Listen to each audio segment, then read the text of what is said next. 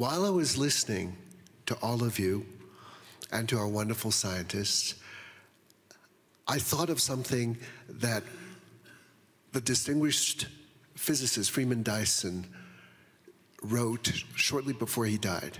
He said he believed that the speed of cultural evolution, the speed of cultural evolution is now faster than the speed of biological evolution. So, what does that mean? To me, it's something very simple. It means that we now hold our destiny in our hands.